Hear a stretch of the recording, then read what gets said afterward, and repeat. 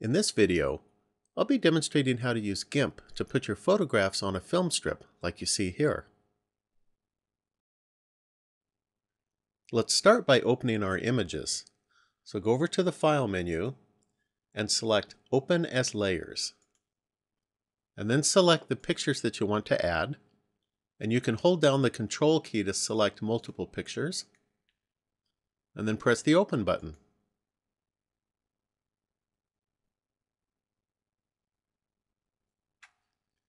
Now let's add the photos to our film strip. So go over to the Filters menu and select Combine and Film Strip. I'm going to use all of the default settings, so I just need to press OK. And here's my basic film strip. And GIMP put this film strip into a different project, and you can see that by this tab right here. So if we go back to our original project, we have our four pictures here that we imported. And so we don't need any of these anymore. So I'm going to go ahead and close this. And next we're going to create a new layer. And so we can do that by pressing this button right here. And then make this layer 2000 pixels by 2000. And set the layer fill type to transparency. And then we want to increase our canvas size to this new layer size. So you can go up to the Image menu and select Fit Canvas to Layers. And then to display the whole layer, go up to the View menu and select Zoom and Fit Image in Window. And now let's reposition our film strip. So click on the bottom layer to select it, and then select the Move tool, and then move this down and position it a little above center and also a little bit to the right side. And now let's zoom in on this film strip. And you can use the zoom tool right here. Just drag a selection around the edge of this, and then it'll zoom in. Right now, all of the holes in this film are colored in as white, and we want to make them transparent, so we want to cut out this white area. So to do that, first right-click on this layer, and select Add Alpha Channel and that will allow us to make part of this transparent. And now click on the Select by Color tool, and then click the white area inside of one of these holes. And this will select all of the white area within this image. And then select the Eraser tool, and choose a hard brush. I'm going to use hardness 100, and then set the brush size to about 40. and then position the brush over the first hole and click and release the mouse button. And then hold down the shift key and drag this over to the other side and then click on it again. And that will erase everything between the first point and the last point that you clicked on. And then so we'll do the same thing on the bottom here. So I'll just click on this first one, then I'll hold the shift key and then click on the last one. And now you can remove this selection by going to the Select menu and select None. And now we're going to stretch this first photograph. And the reason that we're doing this is later on we're going to be deforming the shape of this film strip. And when we do that, it's going to stretch out this first image vertically. And so we want to stretch this out horizontally now so that we can keep the proportions looking good. So I'll first merge these two layers together. So I'll right click on the top layer and select merge down. And then I'll move this over a little bit to give myself some room to work. And then go up and select the rectangular select tool. And then select just this first photograph and you can go right up to the border between the first and the second photograph. And then select the Scale tool, and then click in the center of the image, and then you want to scale this up until it's a little bit larger than twice its original size. And then also grab the right side and move it over just a little bit to the right. And the reason that we're doing this is if you don't pull the right side over a little bit, sometimes it will leave a vertical stripe. So now you can press the scale button. And our new stretch photo has been placed on a floating selection. So we need to anchor that. So you can do this by pressing the anchor button right here. And then next, zoom out so that you can see the entire film strip. And now we're going to duplicate this film strip, turn it upside down and place it below this one. So click on the rectangle select tool again and select this entire film strip. And then to duplicate it, go to the Edit menu and select Copy and then the Edit menu and select Paste. And now we're going to flip the copy upside down. So go over here and select the Flip tool, and then make sure it's set to vertical, and then click on this image. And now let's move it down. So select the Move tool, and then drag this image down. And if you hold the Control key while you're dragging, it'll drag it straight down and then position it where it's just under this top one, and you can leave a very small space between the two. And then come up here and set the opacity to about 35. And this is on a floating layer, so we need to anchor it. So press the anchor button. And now we've got our film strip along with a reflection on the bottom. And now we're going to reshape this film strip.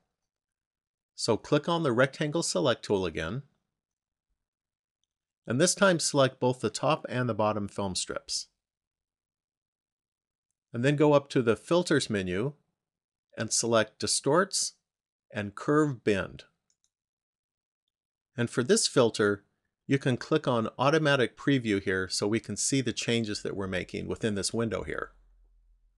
Okay, we're going to start with the curve for border set to upper. And this is going to adjust the top side of this selection that we've made. So drag this first circle that you see here up until it intersects with this first line.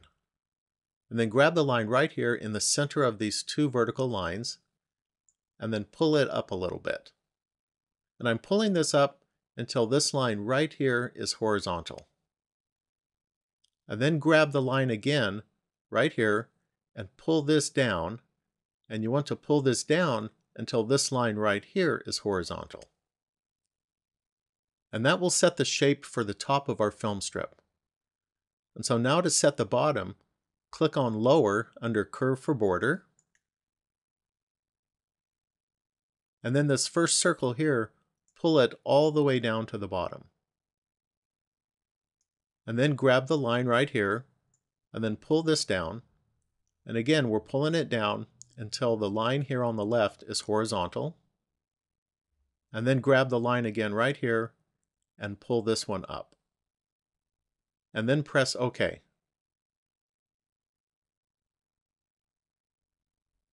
When this filter is done, it'll place the result on a floating layer.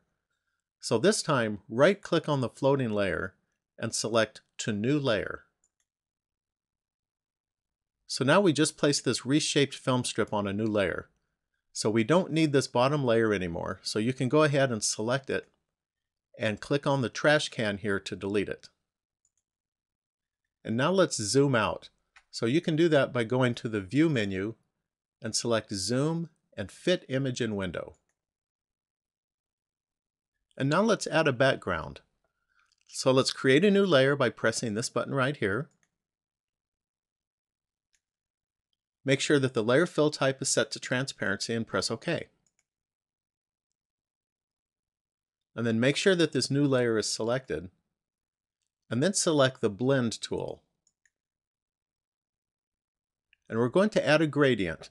So make sure that the gradient type is set to FG to BG, which is foreground to background, and that the shape is set to linear.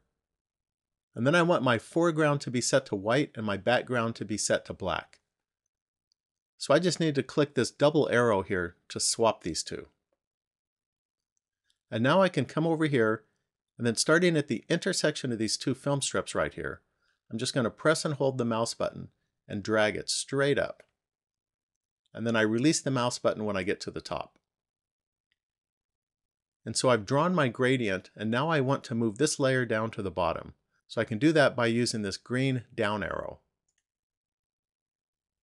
And now I want this bottom reflected film strip to fade off until it's transparent down at the bottom. And so I can do that by adding a layer mask. So I need to make sure that the top layer is selected and then right click and select add layer mask. And then here make sure that you have white selected for the initial layer mask. And then press the add button. And you'll notice over here on the layers that it added an extra square off to the right. So this extra square is my layer mask. If you click on the image to the left, you'll see it's outlined with a white square. And what that means is that any work that I do to this image will be applied to the image itself. But if I click on the right side, now anything that I do will be applied to the layer mask. And what the layer mask does is it allows me to make part of this image transparent. So anywhere that the layer mask is white, the image will be completely opaque. But any place that the layer mask is black, the image will be completely transparent. And then so shades of gray give me partial transparency. So all I need to do is to make sure that I have this right side click so that I have my layer mask enabled. Then I'm going to use the blend tool to create a gradient. And so I'll start the gradient right here and I'll drag down kind of at an angle about to this spot right here and then release the mouse button. And if you look over here on the layer, you can see the gradient that we applied to the layer mask right here. And then on our actual image, it allowed us to make part of this transparent down here at the bottom. So now we can merge these two layers together. So right click on the top layer and select Merge Down. And then the final thing that we'll want to do is to crop our image. So you can do that by selecting the crop tool and then select the portion of the image that you want to keep.